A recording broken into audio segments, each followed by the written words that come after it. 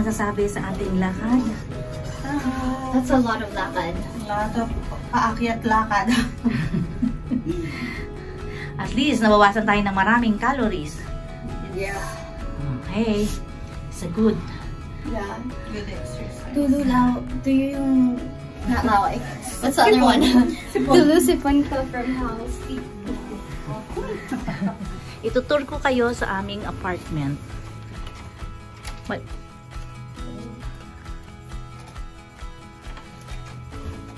Ate Patulak! Welcome to our apartment! Okay, on the right side is the kitchen. Ayan, kitchen.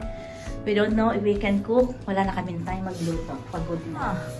Okay, first room. Tong room ni Bea at ni Kaisa. This is the second room. Okay, dito kami ni Tita Janet. Here's our dining table. Look at Kaisa. Relax na relax. Our TV. May table doon. ah, telepono. And Keurig. And yung pahingahan. Is the restroom, bathroom, shower. Ah, say hi. Hi. Okay, done. On the rooftop, there's a terrace bar and a swimming pool.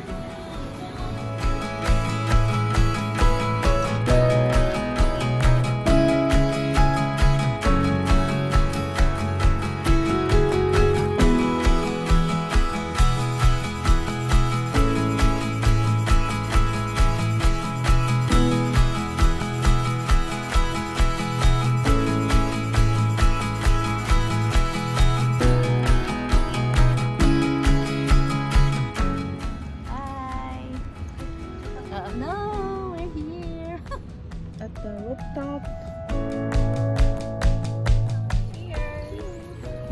How is it? Good? Okay. Toast. Welcome to Lisbon. What did you order? Pinya colada. Okay. This is